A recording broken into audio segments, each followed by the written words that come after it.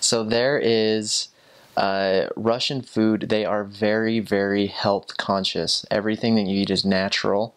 Um, they eat a lot of grains. It, it's funny because they'll even they'll even eat a lot what we um, they call buckwheat or or we call it horse feed. Um, you'll eat that a lot. Everything is very natural and very healthy for you. I found that um, I actually lost about 30 pounds on my mission.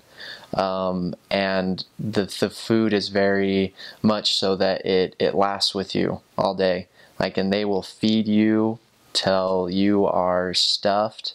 Um, you'll eat a lot of a lot of potatoes, a lot of grains, um, and a lot of stuff that it, that is fried uh, or, or, cooked in the oven and whatnot. The my favorite dishes um, are definitely you've got borscht. Um, as well as there's a Russian, it's like Russian shish kebab that they grill up called shashlik, but it is hands down better than any American shish kebab you have ever had. They they marinate it in mayonnaise. Everything has mayonnaise on it, and so if you don't like mayonnaise, you will learn to like mayonnaise, or else you'll you'll offend a lot of people. um, but they, uh, I I just loved how you know how how you could eat and you would be full for a long time. It's very bland, not a lot of spices, nothing is ever spicy.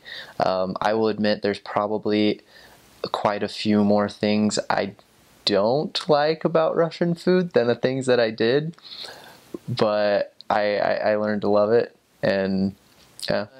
Let's see. They when you hear the words pie or cake in Russian, they they are not what you think of in America. You hear of cake in America and you think of moist, you know, like angel food cake or whatever. In Russia, cake means a giant waffle cookie covered in chocolate. Uh, and and a pie is not what you have on Thanksgiving. It is uh, a bread a bread filled or bread filled with cabbage or meat that you'll have as a dessert. So it's like a meat pie that's just and so you'll think of something sweet and you'll never get it. They they don't understand sweets as as well as we do, but Amer Russian ice cream and yogurt and dairy is so much better than American because they don't pasteurize any of their stuff.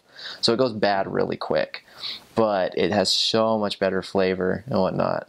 Their yeah, their ice cream and their their dairy is really good. Except milk tastes kind of gross, but it's uh, but their yogurt and everything is is good.